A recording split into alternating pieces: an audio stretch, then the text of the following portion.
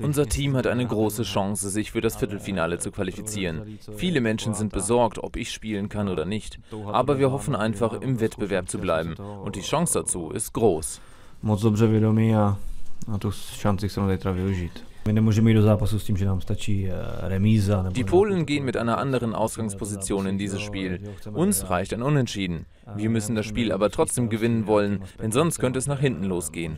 Wir dürfen nicht versuchen, das Unentschieden zu halten, sondern müssen von Beginn an die aktivere Mannschaft sein. Aktivně od začátku, jak se nám to dařilo ve obou. Jsem v těch zápasech viděl Vlašikovský. Lewandowski, Błaszczykowski, Obraniak, das sind alles Topspieler. Aber Polen hat auch noch andere. Wir müssen sehr vorsichtig sein. Wir respektieren das polnische Team, haben aber keine Angst. Wir haben gegen Griechenland gezeigt, dass wir stark sind und wir wollen auf keinen Fall jetzt schon aus der EM ausscheiden.